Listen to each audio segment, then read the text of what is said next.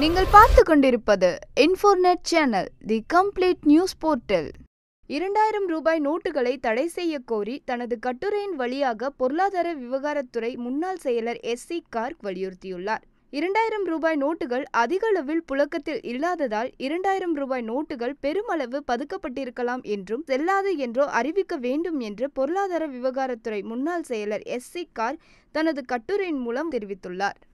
இந்த வீடியோ உங்களுக்கு பிடிச்சிருந்தா லைக் பண்ணுங்க ஷேர் பண்ணுங்க கமெண்ட் பண்ணுங்க. மறக்காம சப்ஸ்கிரைப் பண்ணுங்க. பக்கத்துல இருக்க பெல் ஐக்கானை கிளிக் பண்ணுங்க.